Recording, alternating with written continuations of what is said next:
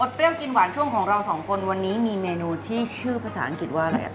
Marble waffle with chocolate sauce วาฟเฟิลสองสี ใช่ วานิลากับช็อกโกแลตในสีเดียวกันใช่ ในชิ้นเดียวกันอืมแล้วก็ทานคู่กับซอสช็อกโกแลต ใช่ค่ะ สูตรนี้ของเราเนี่ยใช้ buttermilk ใช่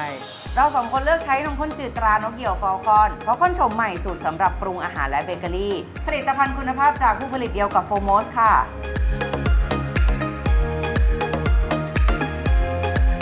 เนี่ยแค่ใส่น้ำมะนาวลงไปในนมข้นจืด แล้วคนสักพักหนึ่งคุณจะเห็นความเปลี่ยนแปลงที่เกิดขึ้น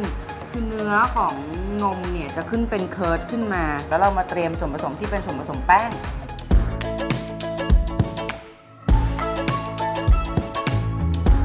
ผงฟู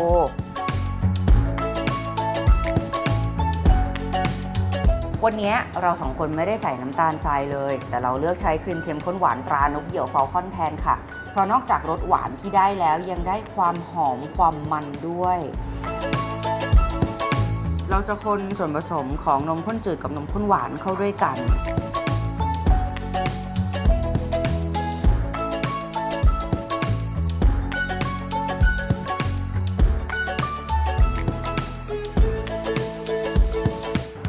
แล้วเราก็เอาส่วนผสมที่เหลวใส่เข้าไป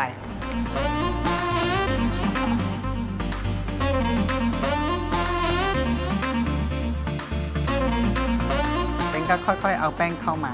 เคล็ดลับการคนส่วนผสมก็คือคนจากตรงกลางออกไปใช่อุ๊ยแต่เนื้อดีมากเลยนะอืมคนแบบนี้คือรู้เลยว่าวอฟเฟิลจะอร่อย เหรอใช่คือคนคนที่กินเยอะๆเนี่ยนะอืม เห็นปุ๊บก็จะรู้แล้วว่าเนื้อแบบไหนเนี่ยมันมันน่ากิน โอเค ขนาดนี้เสร็จแล้วเดี๋ยวเราพักประมาณ 15 นาทีถึงครึ่งชั่วโมง พอพักเสร็จแล้วเราก็แบ่งประมาณ 400 กรัมออกมา ใส่โกโก้เพสลงไป อะ พักทิ้งไว้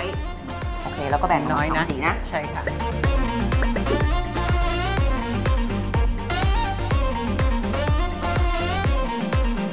ถ้าชอบสีเข้มมากก็ใส่มากได้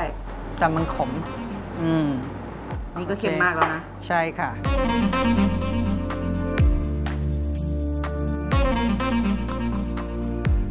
อันนี้คือแล้วแต่ความชอบเลยถูกไหมใช่ค่ะอยากให้สีตรงไหนอยู่ตรงไหนก็ใส่ลงไปเลยนะ โอคไวหน่อยเลยอืมต้องไวใช่ไหม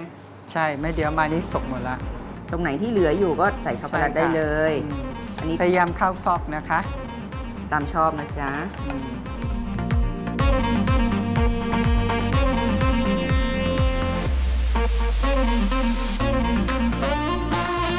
ช็อกโกแลตเท่านี้กำลังสวยค่ะ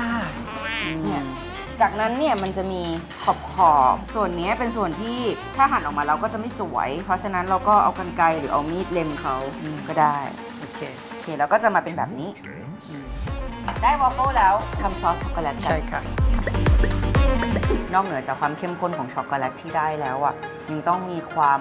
หวานหวานมันมันๆเพราะฉะนั้นเรามีครีมเทียมข้นหวานตรานกเหยี่ยวฟอลคอนด้วยค่ะ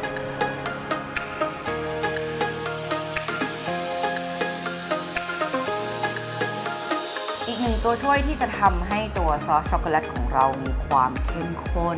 เราใช้นมข้นจืดตรานกเหยี่ยวฟอลคอนค่ะ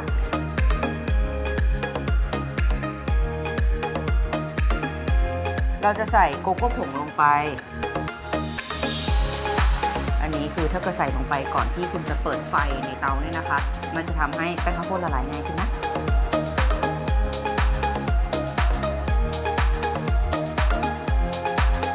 ก่อนนะอะมามีคนก่อนนะ โอเค พอสมผสมเข้ากันแล้วนับเปิดไฟเลย อย่าใช้ไฟแรงมากเพราะไม่เช่นนั้นแล้วโกโก้จะไหม้ควรจะคนผสมส่วนผสมค่อนข้างตลอดเวลาใช่เพราะไม่เช่นนั้นแล้วเนี่ยก็จะไหม้อีกไหม้เช่นกัน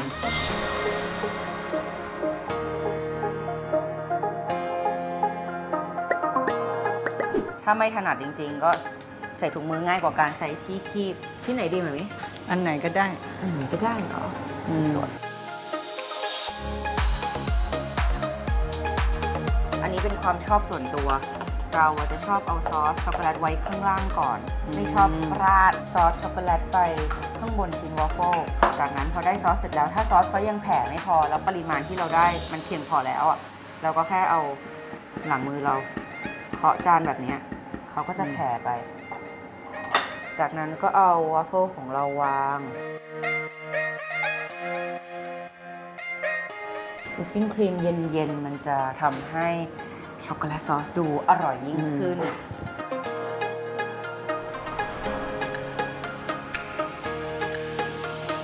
เรียบร้อยค่ะ อันนี้เป็น Marble Waffle with Chocolate Sauce ค่ะ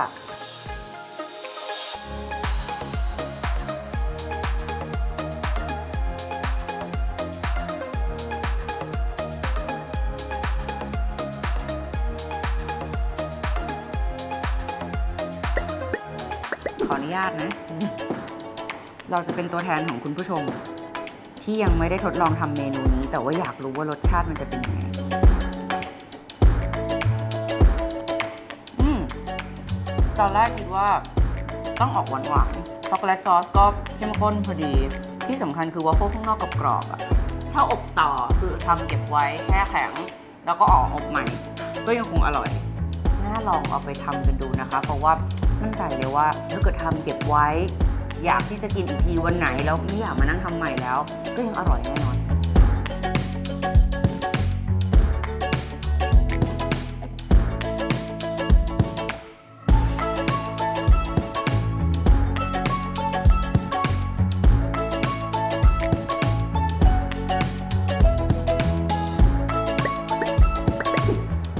หวานหมดเวลาลงแล้วล่ะคุณผู้ชม สัญญานะคะว่าทุกสัปดาห์เนี่ยจะมีความอร่อยอร่อยมาเอาใจสายหวานให้ได้ฟินกันกับพวกเราทั้งครอบครัวเลยล่ะ กลับมาพบกับพวกเราได้ใหม่ ในรายการอดเปรี้ยวกินหวานทุกวันพฤหัสค่ะ เวลาอะไรอะสามโมงครึ่งใช่เราเปลี่ยนเวลาเป็น3ามโมงครึ่งนะคุณผู้ชมทาง Workpoint TV หมายเลข 23 ค่ะ วันนี้นานาและอาจารย์เมย์ขอตัวลาไปก่อนนะคะ สวัสดีค่ะ